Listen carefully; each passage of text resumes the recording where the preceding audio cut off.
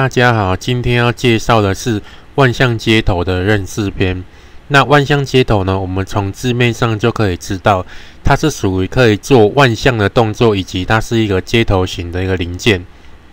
所以呢，我们可以把它想象成它是属于一个连轴器。那关于连轴器呢，如果你有兴趣的，可以到影片底下的说明。啊，这里会介绍一些细部的部分。好，那关于连轴器呢，万向接头它是属于其中一种，只是说它这个角度呢会比较大。那这里呢，我们就是来介绍几种我们比较常见的万向接头来给大家认识。那这里我们要怎么去认识跟了解它呢？我们继续看下去喽。首先呢，我们先来认识一下什么是万向接头。那万向接头呢，我们来介绍一下我们通常最常看到的形式。哦，像画面上这样，它是属于两节式的。那一般呢，会有两个类似一个套筒的部分。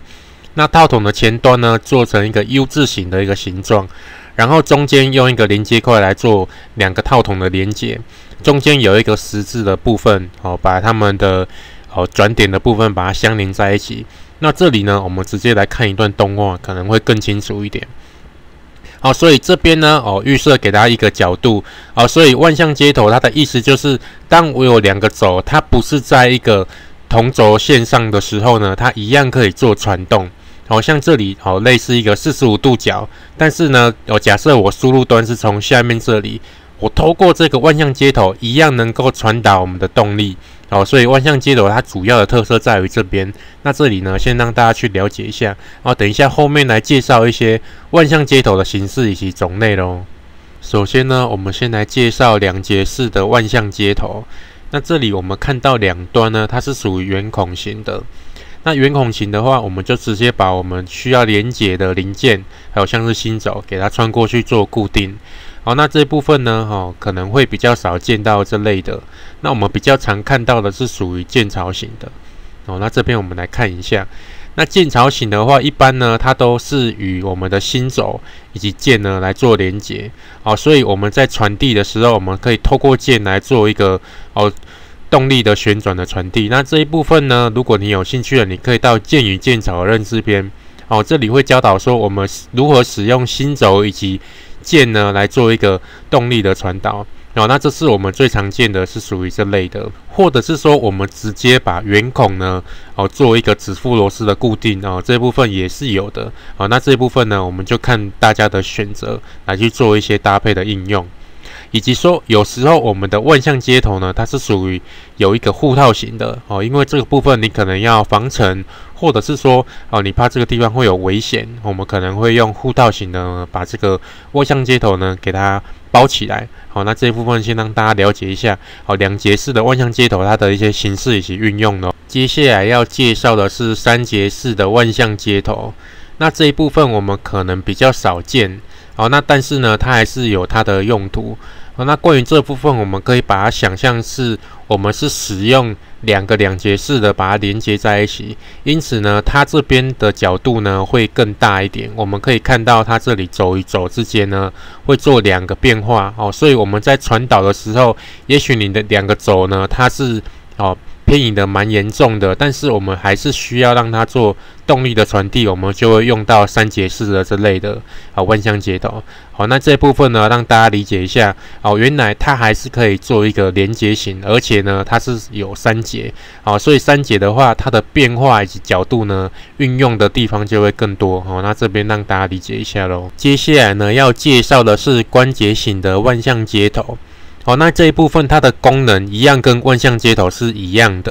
好，那我们看到它前端连接的部分呢，有的是有剑槽，那一般是说是用剑槽会比较多。那我们看到这类的关节型，一般都是用在哦大动力的传递，好像是汽车的一些哦曲轴连杆，好或者是球笼等等的，我们就会看到类似这种的结构，哦，所以它可以传递的动力呢会比较大，所以相对的，我们所看到这类关节型的万向接头，它的零件呢也会比较大一点。而且呢，它的制造方式可能会用别种方式，哦，有可能是刻字化的。好，那这部分让大家理解一下。哦，关节型它最主要呢用在比较像大动力，像是汽车零件等等的这种动力传递。好，让大家认识一下这部分哦。接下来呢要介绍的是球接头式的万向接头。那我们看到球接头式的呢，它这边的结构就会稍微不一样。我们看到前端这个地方呢，是属于一个球接头，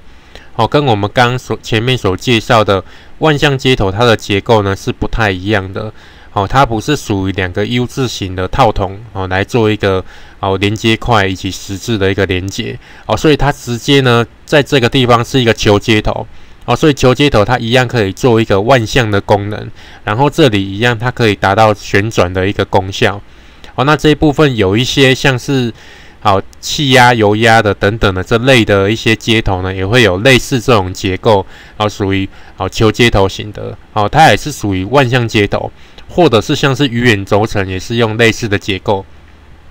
那这里其实我们可以把它想象成，好像我们有一些接头是有阀类的，哦，有开关阀类的，其实它里面也是一个球接头，哦，差别在于说阀类的它这边的球接头呢，它的呃精密度会比较高，因为我们需要做开关的动作，哦，不能有气体或液体有泄漏。那这一部分是因为啊，我们是万向接头的球接头型啊，所以我们会发现这一部分呢，它的晃动会比较大，哦，它的这个公差会比较大哦，以至于我们是要做一个哦万向的传递哦，所以这部分的公差就会大一点，好让大家认识一下关于这一块喽。接下来呢，要介绍的是套筒工具型的万向接头。那首先我们介绍第一种是球接头。哦，那这一部分跟我们刚介绍的球接头型的万向接头非常类似，差别在于说，我们这个地方用的呢是套筒工具哦，所以套筒工具是属于手工具里面呢一个组合式的一个工具啊，所以我们看到虽然它非常类似哦球接头，但是我们看到前面呢有一个插拼过去，这个用意在于说，因为我们的套筒工具呢是用来锁附螺丝类的哦，所以它这个地方一定会接一个。哦，扭力板或是工具哦，所以这个地方我们要做一个旋转的时候呢，我们必须要插一个 pin 过去，它前端这边才可以传递我们的扭力以及动力，好达到我们锁紧或放松工具。好，所以这部分呢的用意在于这里。然后我们来介绍第二种，它是属于万向接头的哦，所以它这边的万向接头的结构呢都是一样的，差别在于说它的